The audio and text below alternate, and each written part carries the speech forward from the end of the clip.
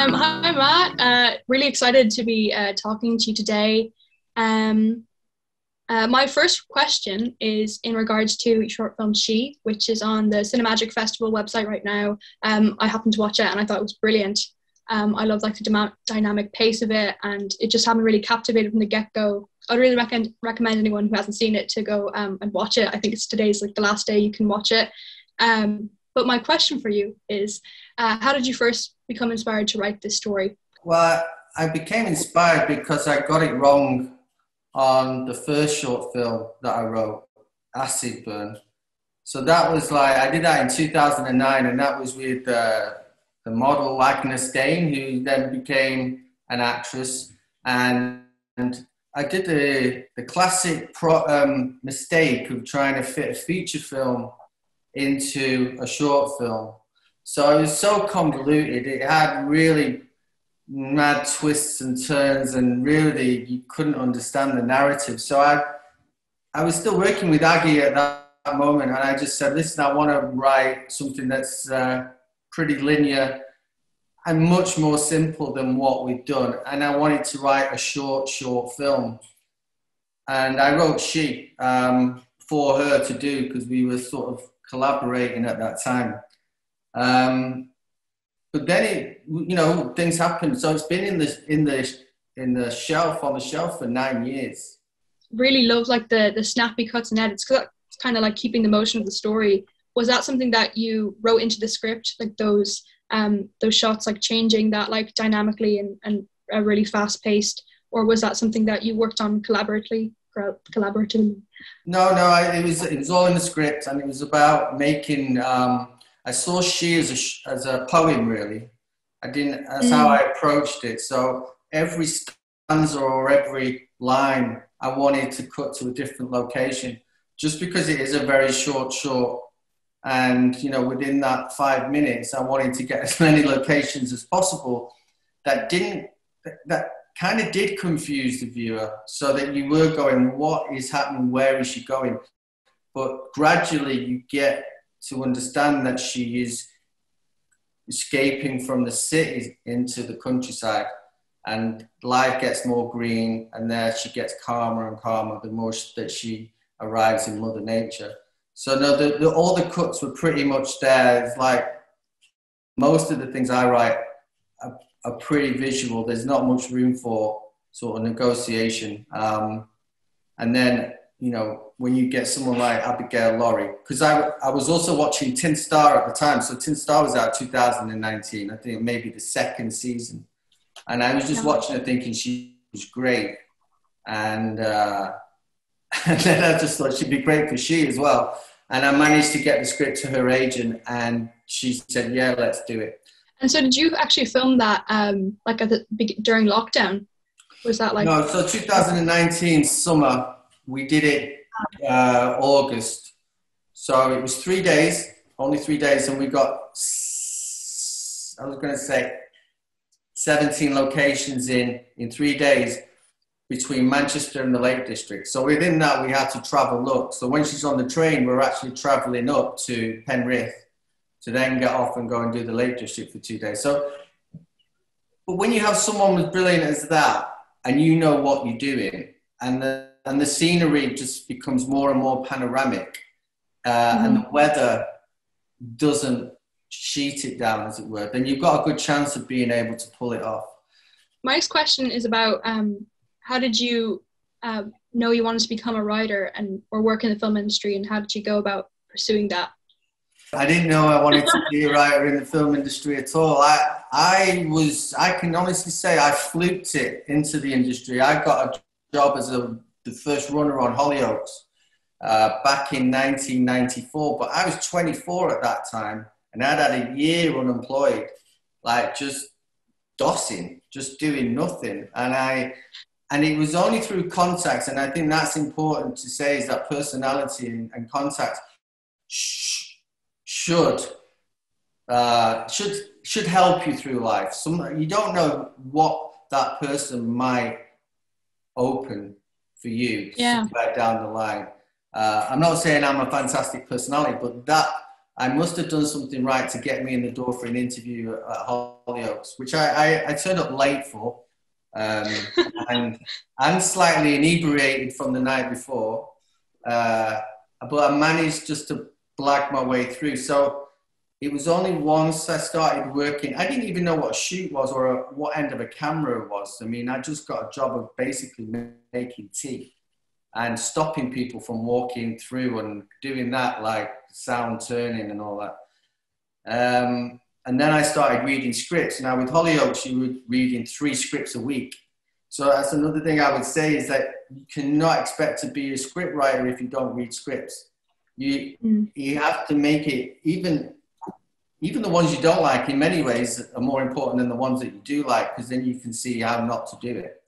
But um, I was then in a position where I was reading, a fortunate position of reading some good scripts, some bad scripts, some very, very bad scripts, um, and, and sort of processing how to break them down to make them mm-hmm. feasible for what my job was, which is to make the production happen.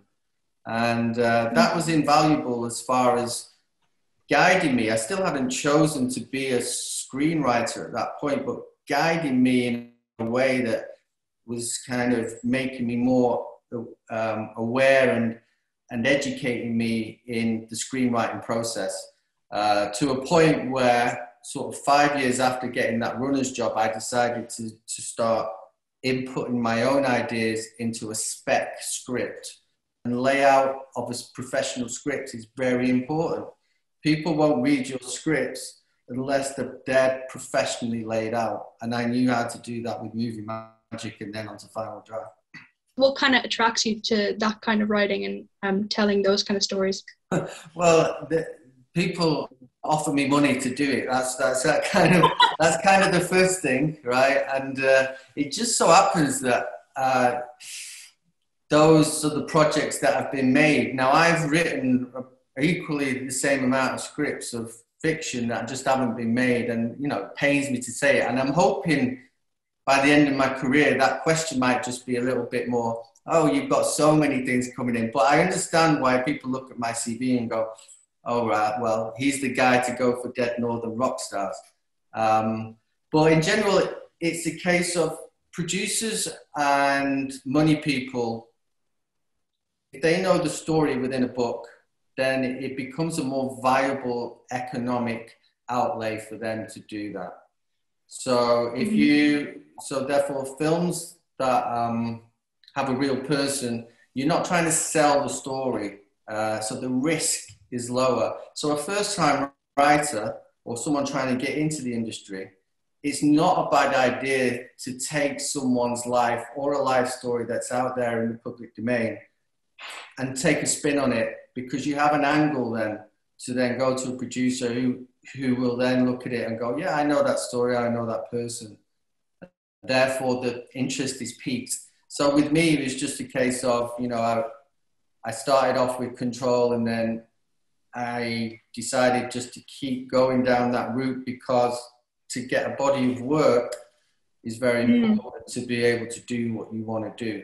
Were there any like writers and directors um, when you were young that inspired you? Like, what were your kind of favorite films? And well? I mean, I was very much a soap kid. I really enjoyed the soaps, and I'm not. Yeah. I'm not embarrassed to say that because they were just so easily accessible in them days. Uh, you know, when I was growing up, sort of 80s and, and 90s, and you know, just, just the constant storytelling.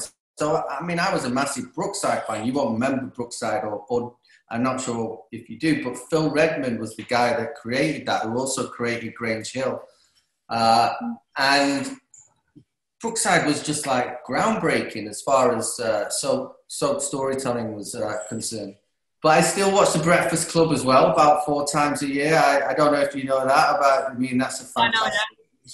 Just brilliant. John Hughes. Yeah. And E.T. I still watch E.T. Uh, Spielberg. I mean, you know, I like simple stories, but dressed up in sort of complicated clothes. Um, yeah. Yeah, I think those are the best ways when you can just, you know, they, you talk about a log line, but I think it is really important to have a very succinct log line and know what you're talking about within that film, within that idea, because that one line means that you can really boil it down and then take it out there. Anything that's too big about an idea, it's going to be too big for the page as well. Have you um, felt like you've been getting a lot of work done, or have you uh, found it very difficult with like making projects? I know your feature film got delayed, which is probably devastating. oh, it, was like, it was devastating to begin with. I thought yeah. my I thought it was all over. I thought, oh, I had three, I had three things go down. Uh, you know, and three three projects that I'd probably been working on for over, you know, five years. You know, and and they were all filming at that time. One was the the one that I was supposed to direct. The other one was a an S, a big budget SAS drama with for Tom Hardy's company. Uh, and the third one was um, a BBC One marquee film uh, based based on the harrowing, you know, football abuse scandal that's the documentary's just been out. So lots going on and lots of effort on my behalf and lots of writing because I put everything into it, probably too much. So when it then when they all went, I was like, mm. then you know, as a creative, as a writer, it's, what you do anyway. You sit in a room and you don't see anyone for ages. So it's, yeah. like it's like I started thinking, well, come on, you know, you've got a clean slate here. No one's expecting anything of you. Uh, what do you want to do? So I then went in and I managed to do two television pitches. Uh, one, hey. um, yeah, one, some big ones as well. So one, but what, but I boiled it down to what did I want to see? And I wanted to see a musical set in Ibiza. Yeah. and a oh, that's really exciting. I love musicals. yeah, a La La Land in Ibiza. So I yeah. wanted to do that with all the old classic house tracks and tunes and everything. So I've written that yeah. pitch, which Netflix is with Netflix right now. You know, fingers crossed. Um, and then I wrote a big boxing drama, which is uh, a passion of mine, but not based on the sort of rocky angle, but based on the promoters that surround the ring. So more like the snakes. So the lions are in the ring and the snakes around it. So it has legs. It's sort of like um, succession, but in boxing. And, you know, it, I had time to write really detailed outlines, which are not easy if you're writing other things, because you, you, your mind can get so overstimulated that, you know, outlines are sometimes take second place to scripts. So, you know, it was a really good, it was a really interesting time. And now coming out of lockdown, I'm glad I got those two projects out there. Is it a writer's dream, like having like all this free time? you know? in many ways. I saw, yeah. you know, I, I really think on one side, yeah, it's horrible and, you know, life shut down, mm-hmm. but that the, the, the total clearing of the decks and the fact there's nothing on the calendar that stops you from thinking about what you want to create is a blessing. Is a blessing that I don't want it forever. Don't get me, don't get me wrong. Yeah. Oh, exactly. I know you feel. I'm ready to come out of it, but it, but it took me. It wasn't until July I started thinking about that musical. So it took me March, like three months really to get my head around sort of creating something from the first lockdown. That means you probably have been interested in writing when you were like younger. Was there like ever like a piece of writing that you'd written when you were younger that um, you remember being really proud of, and what was it about? Like, um, there was a, the first one was about when I was about eight, and I came third in a creative writing contest at uh, Salford Schools. It was at that time, and I remember, I remember, I really being proud because we had to go to like the town hall something. Oh, cool. And I still remember what the story was about. It's like um, some magpies kidnap a scarecrow, uh, and they become really they become really good friends. So it was like, oh no, yeah, it was, it was, Maybe I should do a short on that, an animated short. Yeah. Yeah. So I mean, I, yeah. So the, I was always good at that's what I wanted to do at school. I wasn't really good at anything else. Creative writing was like something that absorbed me. And I think, you know, I still get that buzz today of being in the zone where you kind of forget who you are and it all pours out into these, you know, disparate, separate voices that somehow you're creating in your mind. I mean, it's a form of madness as well. And, you know, yeah. it's definitely not sane, but that losing yourself in a story, especially when it's working the story within your mind, I think is such a nice feeling. Um, and probably one of the reasons why people still write and create and keep doing it, even when they get a load of crap thrown at them afterwards. It's it's probably something in that buzz of uh, of getting into getting into your own mind. Yeah, you got you got to put it out there to actually receive criticism and then but also receive great reviews as well. Totally. Totally. I mm-hmm. mean, you've got to, and I, I think you become, especially in the early days, it's, that's more that's that's a lot harder than doing it when you're, you know a grizzled old pro like me, because because you it it's so it can really hurt your feelings and you and also you can really question yourself to the point where am i going down the right road in life you know it becomes almost ex- existential when people criticize your art uh, yeah. so and there's no other way around it. There's no other way around it. You've got to put it out there and you either you've got to take the rough with the smooth and um, you know if it is good, then hopefully people recognize that. But there's a lot of people as well that don't read things properly, and I, and I know that I don't understand why non-writers sometimes have the um, not the goal, but why do they rule the roost over writers? Why can they know what's good when they're not writers themselves? You know. Another question I have is um, I watched an interview you did about film stars don't die in Liverpool, and you mentioned how some of the characters were inspired by your own family members. Was that just because of like the the home dynamic setting of that film, or is that something that you pull on in your writing regularly? I, yeah, I mean, I think anything that's sort of loosely contemporary in the Northwest, then I can kind of, and, and, and more sort of middle to lower working class, I can kind of transpose my family and people that I know onto those characters. But I would say in all characters, essentially they come from within the writer. I, yeah. I don't think it's possible to actually just uh, mirror someone you know onto a different character because the words come from within you.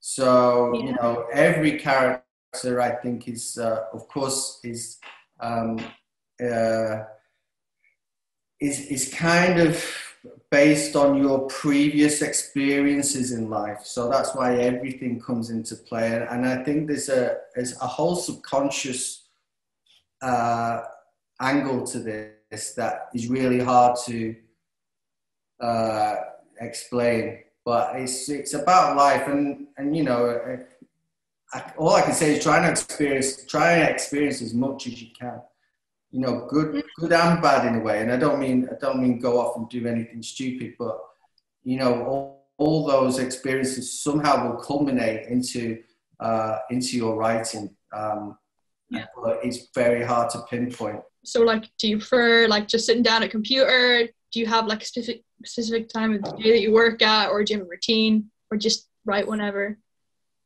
Well, first of all, I think the computer's a scary place, and I and I, I like to not sit down at the computer until I know I can get the scene out.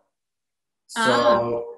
most of my work before I sit down there is done on really extensive outlines. Um, I probably show, but it's like I really nail it down, and I use cards, and I use uh, you know I use boards and the images and I pin them up all over my walls. And I and I really get to a point where the outline of maybe 10 pages is agreed by me and the producer. And then it's a case of okay that works. You've got someone else saying that outline works. That's when I finally sit down and start typing away. And normally the typing comes after I've written a scene longhand. So because I think there's such pressure of typing words into a computer, into a hard drive, into whatever, the fluidity, the, the, the space that you have of just writing longhand and crossing things out and sort of from brain to hand just feels much more uh, it feels like I have there's less danger within it. And so therefore I, I scribble out and I, then I get to a point where right, I've got the basis of inputting that into the screen where I'm not feel like I'm flailing. So I've got the point of the scene across. And I find that that works very well for me. So A4 pads, and just, and then I, if try it, I just feel that the pressure's off. And when you're actually inputting it, it's a, it's a much more of a, of a, of a further process in writing rather than going straight in and going, oh no, delete, delete, oh, spelt wrong, blah, blah, you know, all that just isn't there. You, you, you kind of negate that by, by writing the scene longhand. No, that's a, really good uh, advice. Like, you know, having your, or just insight into your way you work, like having a routine and figuring out when you're most, you, you are your most creative. Um, that's really cool to hear. Uh, it's energy though, Charlotte. I think it's very important for writers to have energy. And I think sometimes you, you feel guilty when you when you're not writing or you're not doing any work. But if you're tired, your ideas will be tired and your writing will be tired. So it's very yeah. important for you to put yourself in a position where the flow is at its, you know, its strongest. And, you know, I, it has its downfalls. I mean, you know, because you can't really go out or you can't really have a massive drink because you can't write and hungover. So you pretty much hermited in to that process. But I feel that if you really want that script out, if you really want to see it, because so many people can start a script and not a lot of people can end them, then you mm. really have to be in that regimented process where you know what your most strongest creative energy time is. And for me, that's nine till nine till twelve. Did you find there was any differences coming from TV writing and working to on working on big feature films or, and working uh, writing them like or was or did you find they're very similar or what was your take on that yeah i think no one if i could go back i'd i'd educate myself about you know writing and structure i, I mean i read scripts so i educated myself in that aspect but i'm i didn't go to college or no one really taught me anything to do with writing it was all self-taught so i wish i'd yeah. go back and self teach, if that's the present tense of me going back. But I wish I'd self taught myself more about structure and narrative. I wish I, because yeah. I think you can teach that. I think it's very difficult to teach writing, good writing, and um, ideas and sparks. I mean, that's within you, and that's that's something that I think is a, is an X factor. But you definitely can teach structure, and I didn't do that. I just thought writing a film was basically just longer than writing TV, and and uh, just writing more words and really simplified the whole process. And I probably could have saved myself a lot of time and heartache if I just read a few of the books. I mean, there's some really good ones out now. I mean, I'm sure you know about Save the Cat. Yeah. Save the Cat. Those books are really good, I think. I mean, as far as just getting you in there. And... Doing, do you feel like doing a feature film is maybe more freeing as a writer because you have like less of those structures of those narratives um, than like working on a, a, feature film, or do you like working with that structure now that you've gotten like gotten used to it? Um, or like I, I mean, I like it now because I know that it works. So, yeah. so that sort of stream of consciousness days where I thought, oh, that's dead cool, they're gone because uh, I, I, but saying that though, she was a bit like a stream of consciousness because I didn't feel any pressure to actually, you know, write that, and that was me sat down and just and just went for it. Really, there was there was no cuts in it to begin with. It was just a speech, and then yeah. I, then I overlaid the locations. But I, that was a lot to do with what was available. So it was how you you know, you, you facilitate the shooting side of it. But originally, she was just a big lump of words. Uh, so maybe I'm contradicting myself. I really, really enjoyed doing that. Uh, but in general, no, if you you've got if you're on a feature for sure, you've got to know where you're going because you can be like five weeks into that writing process and you just you can't even remember what you've written on the first day. You have no idea, mm-hmm. uh, you know. And if you don't have some structural process or have that in place to the side of your computer on the wall, then you can find yourself just getting totally lost. And that's the most dispiriting thing, which a lot of screenwriters end up doing, is that a third of the way through the writing process, they forget what they're writing about. And they find it very, very, very difficult to write the most important bit, which is the end. How like the, the contrast between knowing when you're having structure and making sure that you've got that so you don't feel dispirited and not know where you're going. Yeah. But it's interesting and she though how it started out as stream, stream of consciousness and then you structured it as you went along to work on the script. Yeah, I mean, it was a stream of consciousness, but within the parameters of I knew that she'd start. I mean, originally she was starting in a bedroom, and it was after a night out, and we know she's not had any sleep to her ending in ending up on a mountain, and I knew that, that that's the beginning and the end. So I had the I had the end, I had the back, mm-hmm. but everything else was just like, how do I get there? Was just uh, okay, let's sit down, and I and I wrote it longhand again first before I actually sort of inputted it into any kind of script format.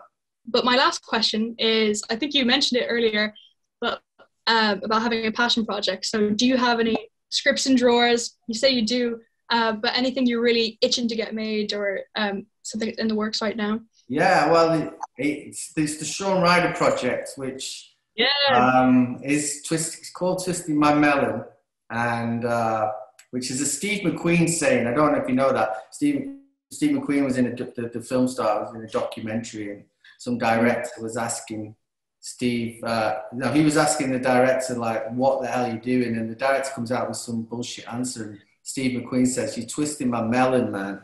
So it's like you're twisting my brain.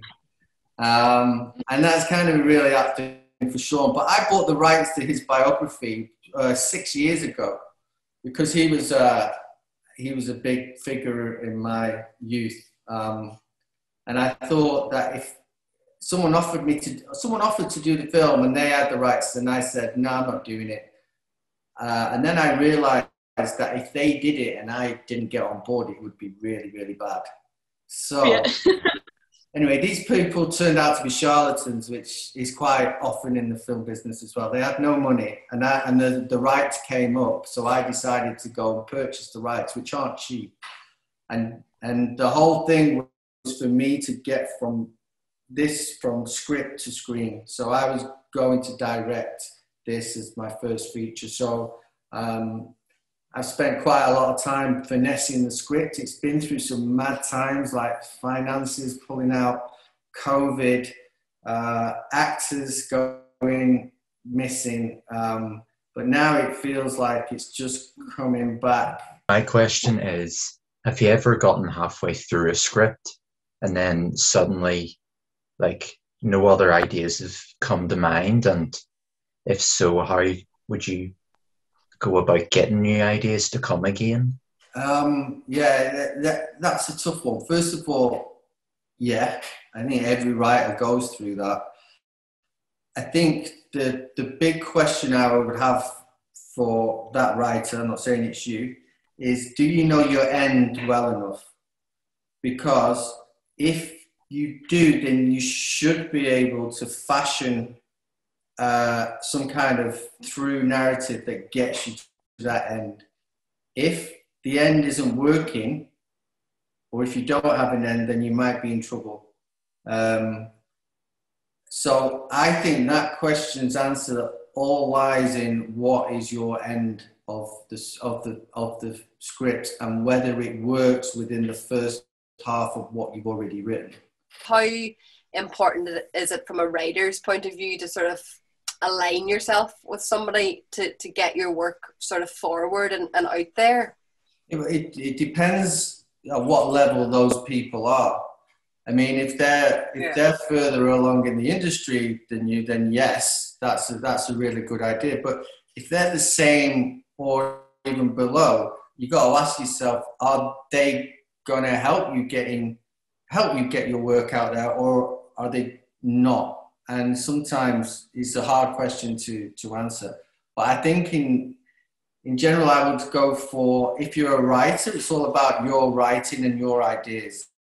And it's how you present those ideas. They're not particularly looking, especially if it's a television idea, even if it's a film idea, I, th- I still think they're looking at how you present that.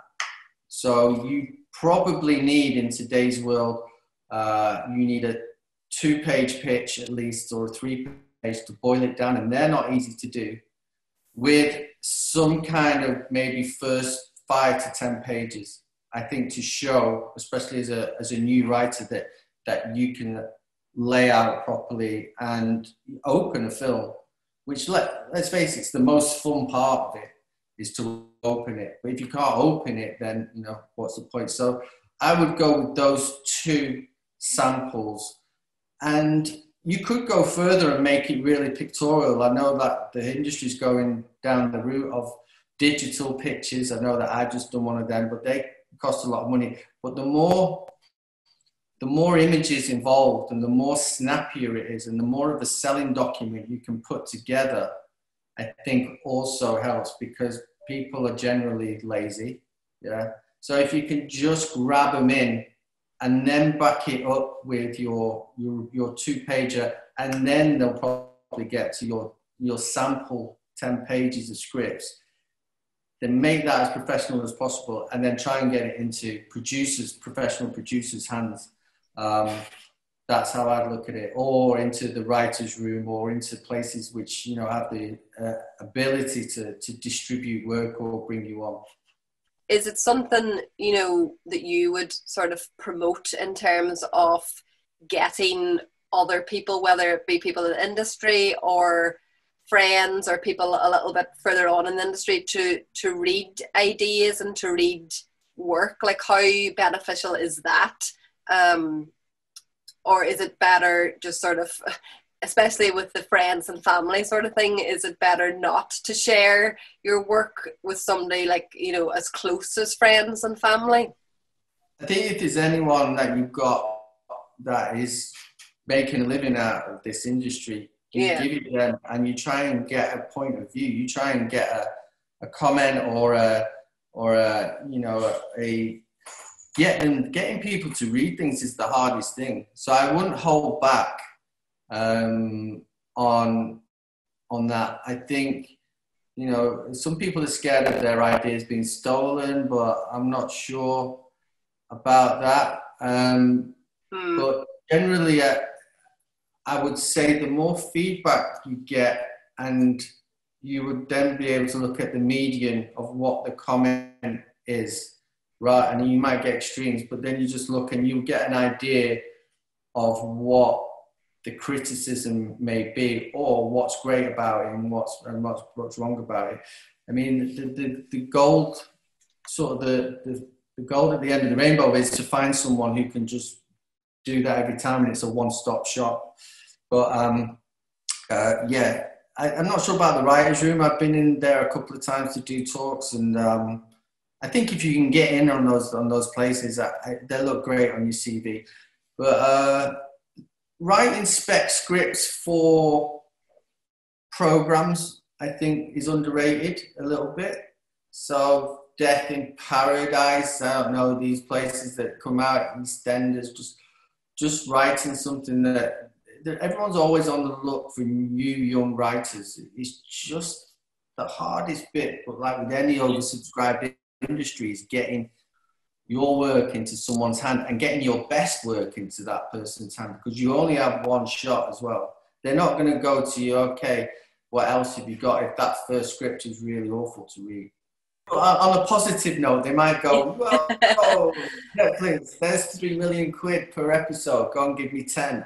You know, they could do that as well. So. I just want to thank you for, for your time and Charlotte for all of those brilliant questions, which were very um, insightful and, and thought provoking as well. And I know um, the young filmmakers here can apply that knowledge to their own projects and um, ideas that are that are being developed in the here and now, but also you know in in the future. Um, so on behalf of everybody, thank you so much, Matt. And um, who knows, it would be be great to get you over to Belfast um, when things change with sort of uh, the relaxing of restrictions in, in months to come. Um, and you've just been very generous with your time. So thank you. Um, thank you all very much. Thank you. Listen, look, everyone, just stay creative. I mean, I know it's hard sometimes to actually, you know, put that into practice, but I think that's so important. Don't let yourself go rusty. Uh, keep going, keep writing whatever it is, if it's a poem or just something that just, you know, keeps those creative juices flowing. It might not be the masterpiece that you want it to be, but I think it all helps to, to, uh, to head on, on that journey, which hopefully ends up with you getting a job doing something that you love. Thanks for watching and don't forget to subscribe.